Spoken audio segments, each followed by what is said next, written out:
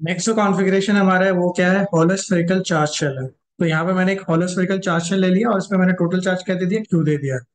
और इसकी रेडियस जो हमारे पास गिवन है this is given as R तो इस केस में हमारे पास दो रीजन हैं जहाँ पे हम लोग इलेक्ट्रिक फ़ील्ड की वैल्यू निकाल सकते हैं।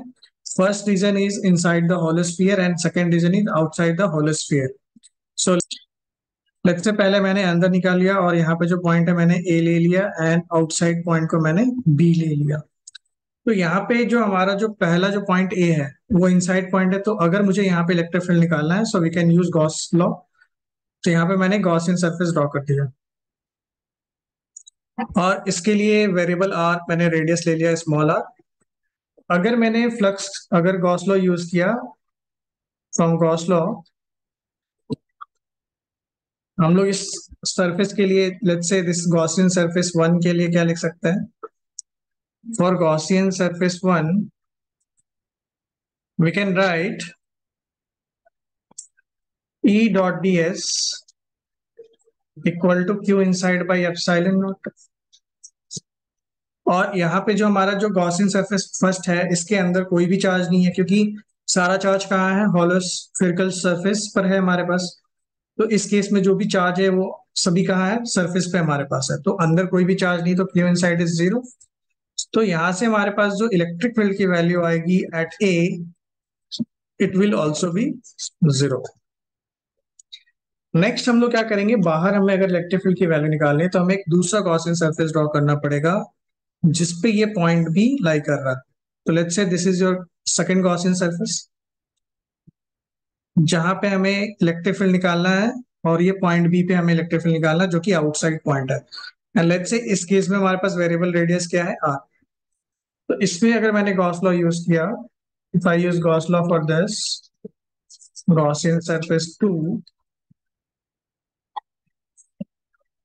again we can write E dot ds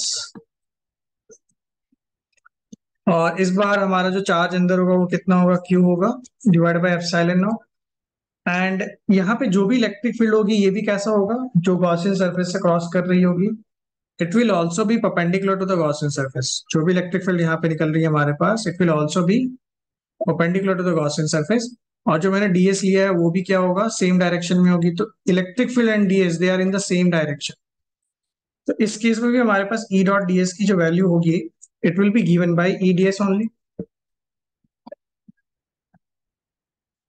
which will be q by epsilon naught. And यहाँ से इलेक्ट्रिक फ़ील्ड हर जगह पे जो ये green Gaussian surface second Gaussian surface मैंने ड्रॉ किया है। यहाँ पे हर जगह पे हमारे पास इलेक्ट्रिक फ़ील्ड की वैल्यू क्या होगी? सेम होगी।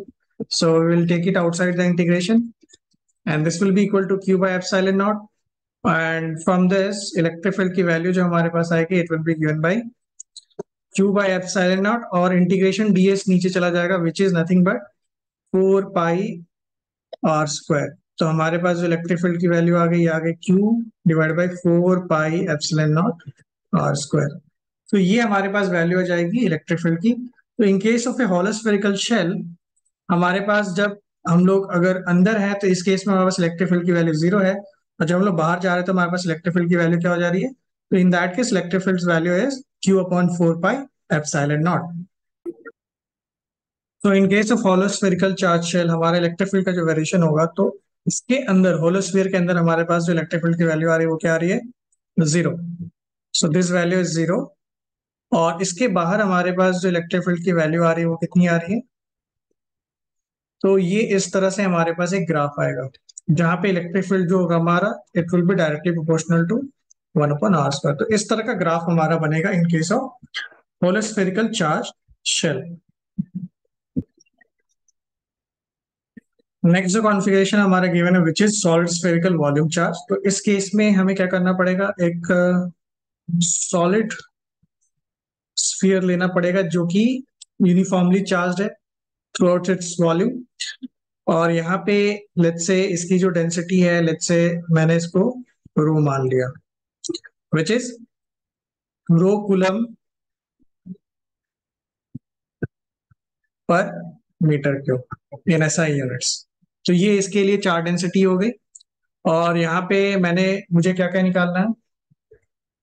यहाँ पे हम लोग इलेक्ट्रिक फ़ील्ड की वैल्यू निकालेंगे लेट्स से पॉइंट ए पे और which is inside the sphere and point B which is on the surface and point C which is outside the sphere. तो ये तीन पॉइंट्स हैं जहाँ पे हमें इलेक्ट्रिक फ़ील्ड की वैल्यू निकालनी है। तो जो सॉलिड स्फीयर है तो in case of solid sphere हमें क्या करना पड़ेगा? लेट्स से अगर हमें पॉइंट ए पे निकालना फॉर पॉइंट ए ए के लिए अगर मुझे निकालना है so will draw Gaussian surface such that it passes through point A तो मैंने एक गॉसियन सरफेस बना लिया जो ए से पास कर रहा। है और इसके लिए रेडियस आर ले लिया मैंने।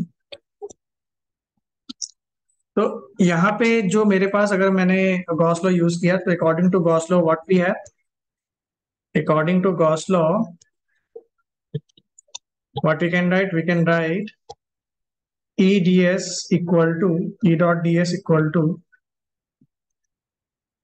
inside Gaussian surface divided by epsilon naught अभी यहाँ पे इसके अंदर चार्ज कितना होगा? For the first let's say this is your first Gaussian surface so इसके अंदर जो चार्ज होगा let's say this is Q dash Q dash की वैल्यू होगी डेंसिटी इंटू वॉल्यूम और इसकी वॉल्यूम होगी four by three pi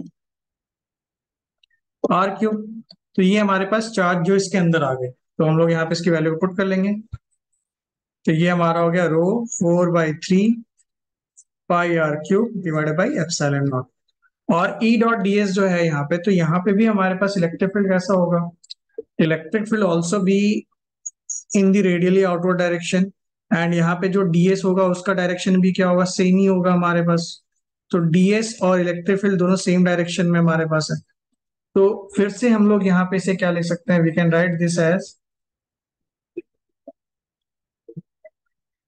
this as EDS only and which will be equal to rho times of 4 by 3 pi r cube by epsilon naught और E को बाहर ले जाएंगे क्योंकि ये कांस्टेंट है so again we will get E times of integration of ds which is ds integration ds will be 4 pi r square and this will be equal to rho 4 by 3 pi r cube by epsilon naught तो यहाँ से four pi four pi cancel out हो गया और are हमारा are बचेगा सिर्फ़। और यहाँ से हमारे पास after solving this you will get electric field equal to rho R divided by three epsilon naught तो ये हमारे पास इलेक्ट्रिक फ़ील्ड की वैल्यू हो गई, जो कि रेडियली आउटवर्ड डायरेक्शन में और अगर मुझे पॉइंट बी पे इलेक्ट्रिक फ़ील्ड की वैल्यू निकालनी है तो इस केस में मुझे पॉइंट बी पे अगर निकालना है so what we can do यहाँ पे स्मॉल आर की जगह मुझे कैपिटल आर पुट कर देना चाहिए। So in that case electric field क्या हो जाएगा हमारा?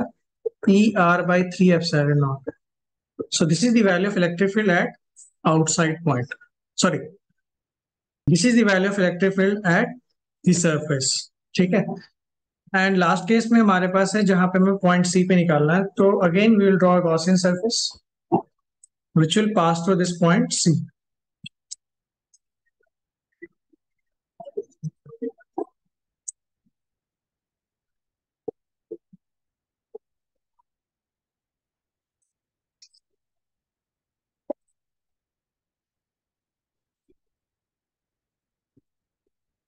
तो यहाँ पे हम लोग फिर से वेरिएबल रेडियस आर ले लेंगे स्मॉल आर तो इस केस में फिर से हम लोग क्या लिख सकते हैं?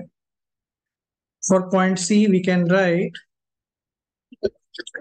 E dot D S equal to charge inside by epsilon naught और इस केस में जो हमारा चार्ज होगा टोटल चार्ज जो स्पीयर पे है, वो हमारा हो जाएगा जो कि four by three pi R Q multiply with density divide by F so this is the total charge and E D S की जगह हमारे पास आ जाएगा four pi electric field into four pi R square equal to rho times of four by three pi R cube by epsilon naught तो यहाँ से four pi four pi cancel out हो गया।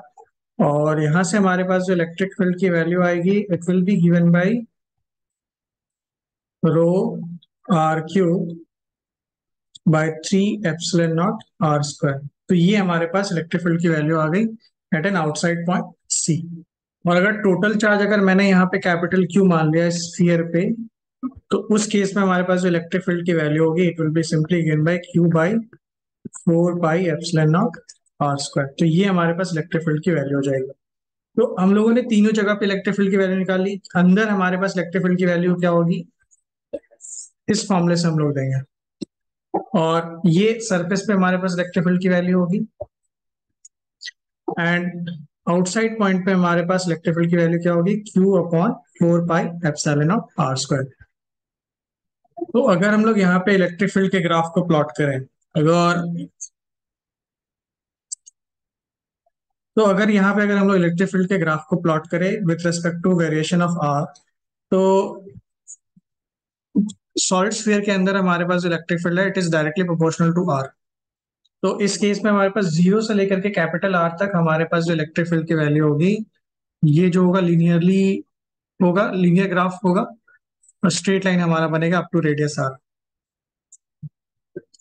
और इसके बाद जो हमारा इलेक्ट्रिक फ़ील्ड है it is inversely proportional to R square तो इसके बाद जो हमारा ग्राफ बनेगा, वो इस तरह का ग्राफ बनेगा। तो यहाँ से फ्रॉम फ्रॉम ओरिजिन और from centre of the sphere to the radius R electric field will be directly proportional to R और फ्रॉम कैपिटल आर से जैसे हम लोग बाहर जाएँगे तो हमारा इलेक्ट्रिक फ़ील्ड जो होगा it will be inversely proportional to R square तो इस तरह से हमारे पास इलेक्ट्रिक फ़ील्ड का वेरिएशन होगा in case of solid spherical volume charge